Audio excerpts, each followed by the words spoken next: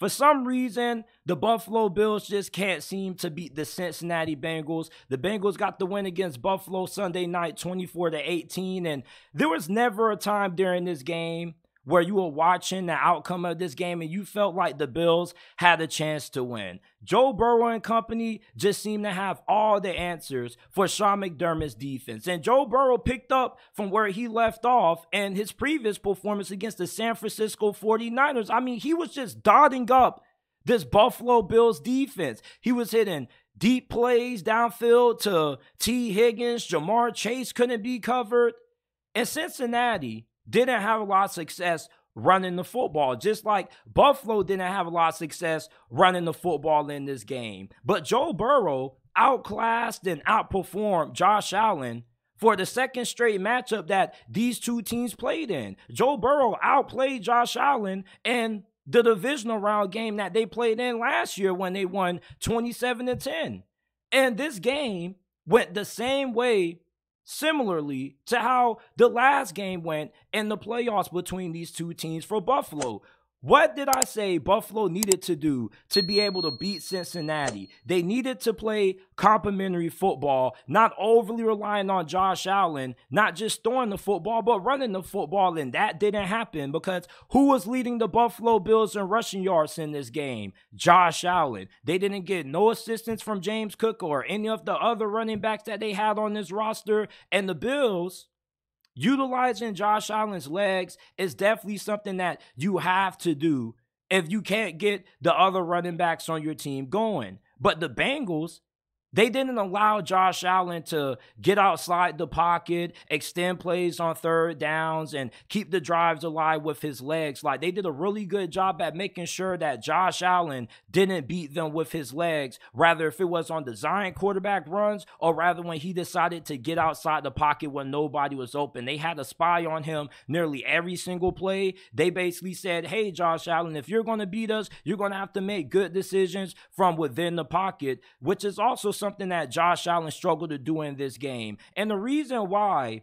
Joe Burrow has such the advantage in this matchup over Josh Allen is because Josh Allen is a reckless player at times. He tends to throw caution to the wind. Sometimes it pays off and sometimes it backfires. And when you're going up against a quarterback like Joe Burrow that's so cerebral, that does a really good job at taking care of the football, you cannot afford mistakes because he's going to make you pay every single time.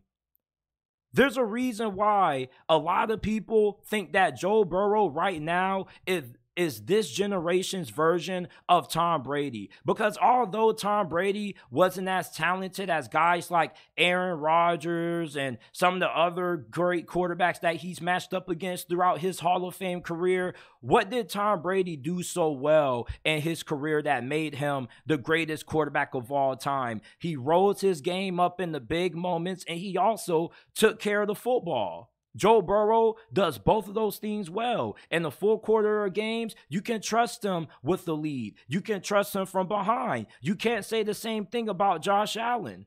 Josh Allen is this great player, but he's too nuclear. One game he could go off and have a big time MVP caliber co- performance, and then the next game he could struggle and cost you with his costly mistakes.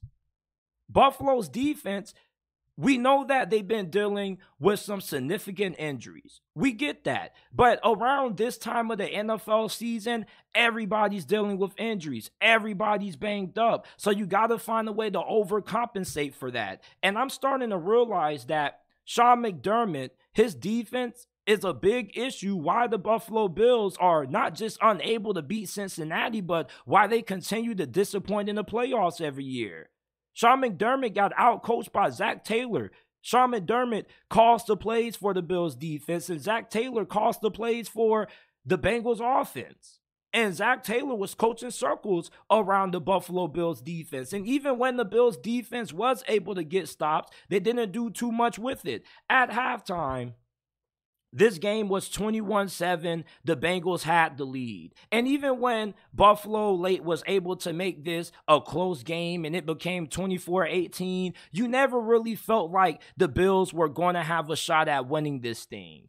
Look at what the Bengals did their final possession. They ran the clock out. The Bills defense couldn't get their offense another opportunity.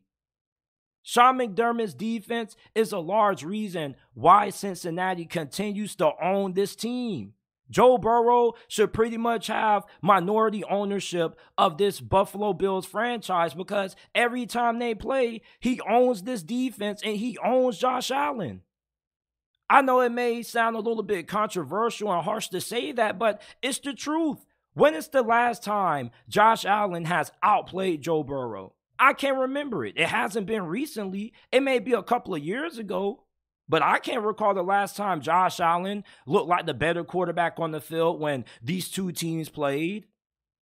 The Bengals just have all the answers against the Buffalo Bills. And the Bills Super Bowl window, I don't think it's closed. I think the Super Bowl window for the Bills is open just as much as it's open for the other teams in the conference, such as the Ravens, the Jacksonville Jaguars. But the difference between the Bills not being able to get over the hump hasn't been talent. I don't think it's been all that much coaching. It's just been the fact that they can't find a way to stop the two best quarterbacks in the NFL, that being Patrick Mahomes and Joe Burrow. That was a large reason why a lot of quarterbacks weren't able to win Super Bowls during the Tom Brady era because Brady and the Patriots were just that dominant.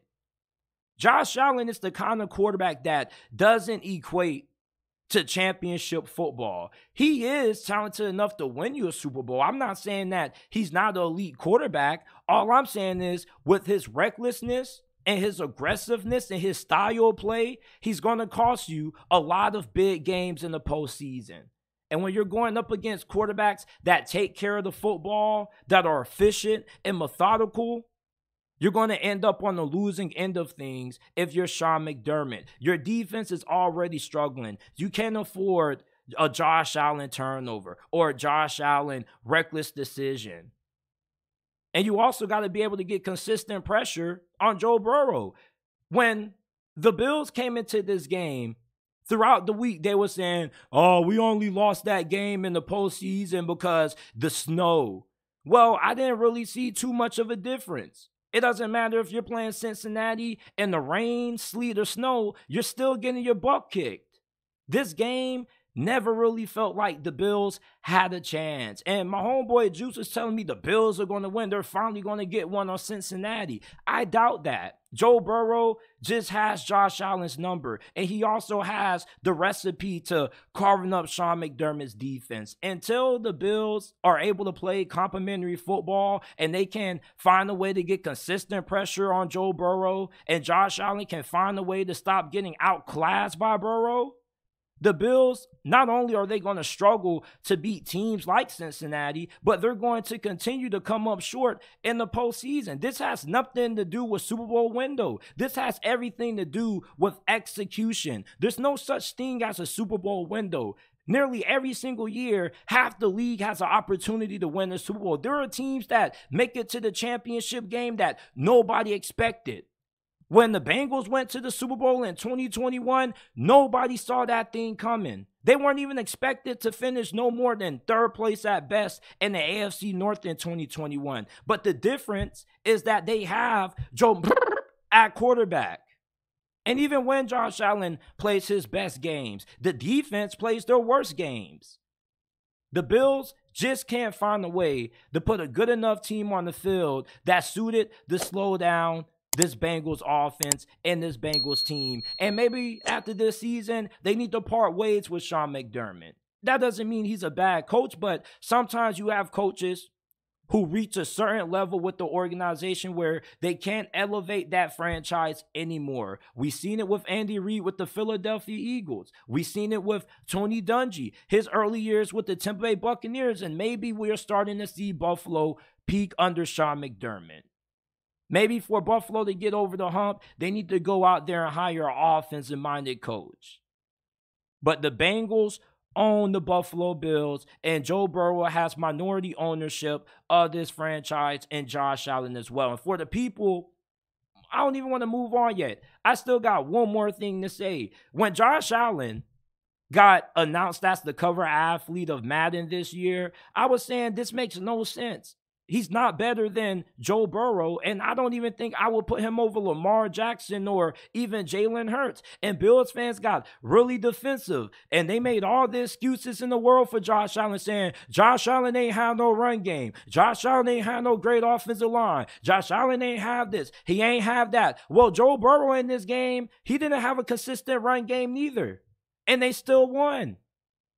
So what's your excuse now? You can only make so more excuses, so much excuses for a guy like Josh Allen before you finally can look at him and say, you know what? Maybe he's the problem. Maybe Sean McDermott's the problem. If it keeps on happening, that means that you have a common culprit responsible for getting the same outcome. You know, I get mad when I have my friends who call me about the same situation that they continue to put themselves in. And you see, with Bills fans, they continue to get outclassed by the Chiefs and the Bill, or the Chiefs and the Bengals. And what's the reason? Josh Allen and Sean McDermott. Even when Josh Allen plays well, the defense never shows up.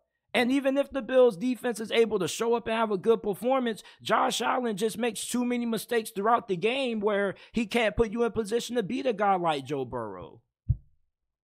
The Bengals get their fourth straight win of the season with their 24-18 win over the Bills, and the Bills drop to 5 and 4 on the year.